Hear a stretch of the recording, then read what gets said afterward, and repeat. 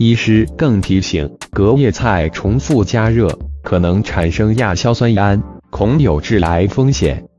医师更提醒，隔夜菜重复加热可能产生亚硝酸胺，恐有致癌风险。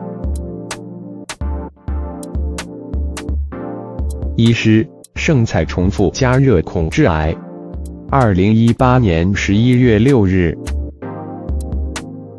许多母亲勤俭习惯，平日有捡菜尾的习惯，剩饭菜进了肚子里，不自觉摄取过多的热量，不止变胖，还招来糖尿等疾病。医师更提醒，隔夜菜重复加热可能产生亚硝酸胺，恐有致癌风险。许多妇女勤俭持家，家里的剩饭菜舍不得丢。全吃到肚子里，结果体重不断上升。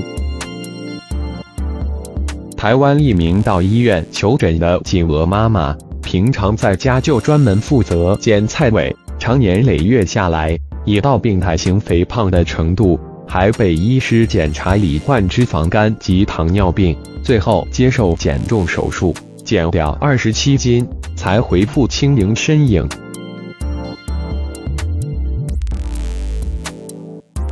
纤体健康中心主任宋天舟表示，妈妈们平时劳心劳力，回家还常捡剩菜饭，热量摄取超标的结果，使基础代谢率下降，导致脂肪囤积，引发肥胖。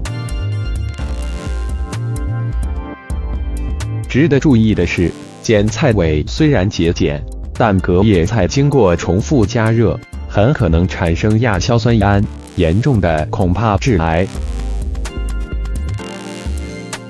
若妈妈们平时压力过大，身心灵也会恶性交互影响，引发暴食症、忧郁、尿毒症、睡眠呼吸中止症、心血管疾病及代谢疾病等。